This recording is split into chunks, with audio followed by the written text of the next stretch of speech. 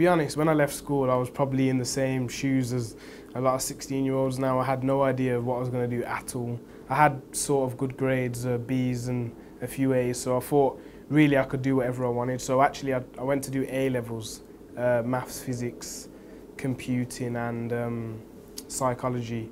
And I thought this, this just a range of uh, thingy um, A levels, so I could go on to really what I wanted to do. But then I discovered A levels just wasn't for me at all. So I went on to a, a BTEC, and then, as I said, that was when I uh, started to see all the apprenticeships going, and um, I thought engineering was the one for me. Yes.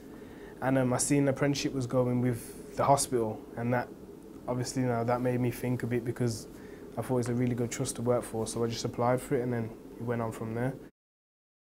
Um, well, to be honest. Uh, the aim was to actually go on to a degree itself because I thought to myself, why am I going to be doing a degree and put myself in all that debt when I can join an apprenticeship, do a BTEC level 3 onto HNC and then hopefully a degree after which would put me in hardly any debt and I'd be getting paid and have practical experience all at the same time.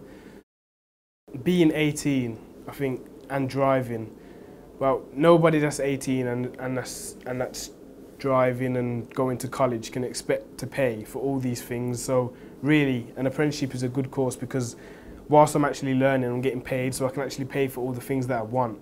And I'm actually working full time, so I'm actually getting into the routine from young. So when I'm actually older, I'll have a lot more experience than most people that are going for jobs, really. We have a set schedule from 8 to 4, Monday to Thursday, and 8 to 12 on Friday.